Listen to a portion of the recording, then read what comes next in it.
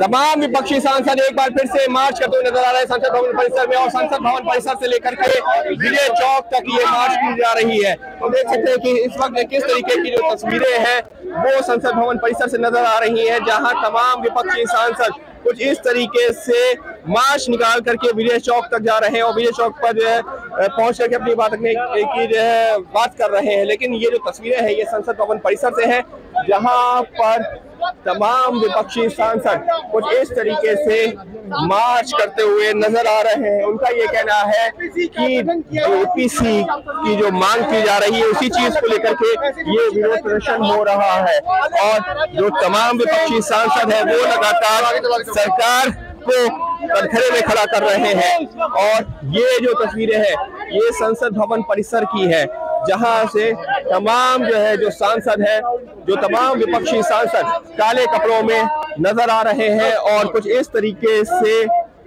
नारेबाजी भी सुनाई पड़ रही है। देख सकते हैं कि ये वो तमाम विपक्षी सांसद जो लगातार सरकार को कटघरे में खड़ा कर रहे हैं और खास तौर पर राहुल गांधी के खिलाफ हुई कार्रवाई के बाद में अब सड़कों पर है रंजीत रंजन रंजीत जी, आज एक बार फिर से मार्च।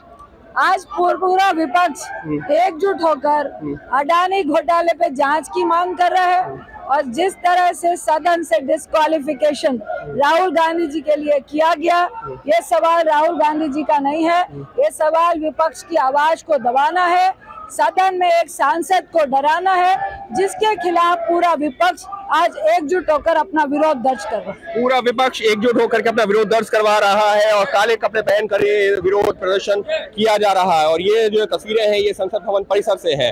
सदन की कार्रवाई स्थगित होने के बाद में कांग्रेस के तमाम सांसद मार्च कर रहे हैं और देख सकते हैं कि खुद कांग्रेस की नेता सोनिया गांधी भी यहाँ पर पहुँची है इस मार्च में शामिल होने के लिए। तो देख सकते हैं कि किस तरीके तमाम जो है सांसद है, वो नज़र आ रहे हैं और केंद्र सरकार को खड़ा कर रहे हैं। सोनिया गांधी यहाँ पर पहुँची हुई है।